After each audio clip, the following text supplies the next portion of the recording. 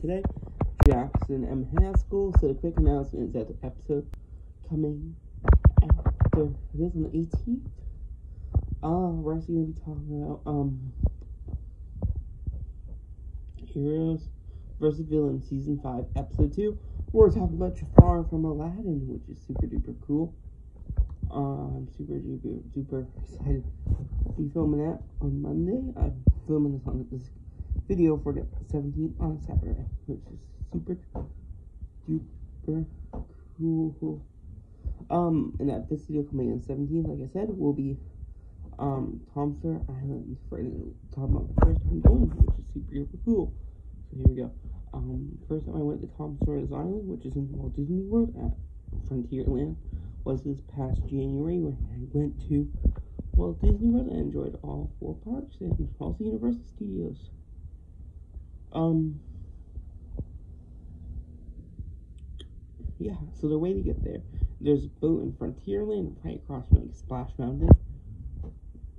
Um, and that was kind of cool. Log boat where pilots steer them, and they drop you off one place on Tom Sawyer Island, which is based off Tom Sawyer. Um, Island's super fun. It's good for young kids. I really wish I went there when I was younger, but I don't have any memories of it. Um, fun fact is there used to be a restaurant on Island Aunt Polly's Dockside Inn, but that's not gone. But uh, there's so many caves to explore. There's a huge playground on island. So many walking trails, and it's right in the center part. And it can get kind of busy, depending, but so beautiful. Uh, there's also this really cool uh, there's this, there's these barrel bridges you cross, which is super duper fun. Uh, and there's uh, another one going to, uh, Aunt Polly's. Super cool. I really like it a lot. I would probably give it a 9 out of 10. There's two islands. The other island actually has a fort called Fort Langhorn, I believe its name is, I remember um, cool. And uh, there's some secret caves. So there's one Langhorn.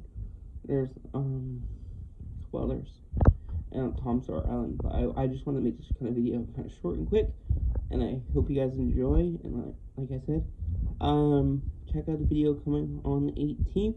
We're talking about Heroes vs. Villains episode two, talking about Jafar. I hope you guys enjoy. Bye bye.